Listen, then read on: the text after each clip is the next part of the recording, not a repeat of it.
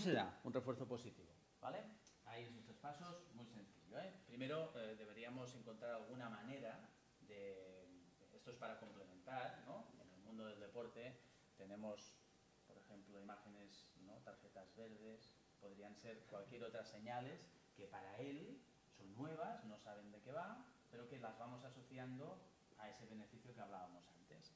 Súper importante, perdón, que haya un comentario positivo, pero que describa por qué lo estoy reforzando.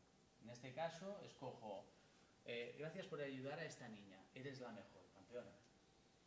Si ella no se da cuenta que ha sido después de ayudar a una compañera, sabe que la felicitamos, pero quizás esté buscando el por qué. Y sea, mm, no lo sé, porque se ha atado las botas. Y finalmente, gestos descriptivos, que ya sí que en nuestra cultura están muy asociados a la aprobación. ¿vale? Un, aplaudir, hacer así, tocarle Mm. Todos sabemos hacer este tipo de gestos. Bueno, cuando nosotros ejercemos así este refuerzo positivo, para el niño y para la niña no hay ninguna duda del por qué se lo hemos dado. ¿Vale? Fijaros, hasta pueden salir 40 formas de refuerzo positivo.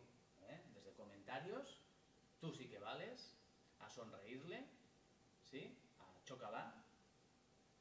Todo esto es facilísimo de dar, ¿verdad? Recordad lo que os decía. Coste cero, ganancia máxima. Niños felices y encima sabiendo que lo que quieren los adultos es eso, sabiendo que van a ser reforzados.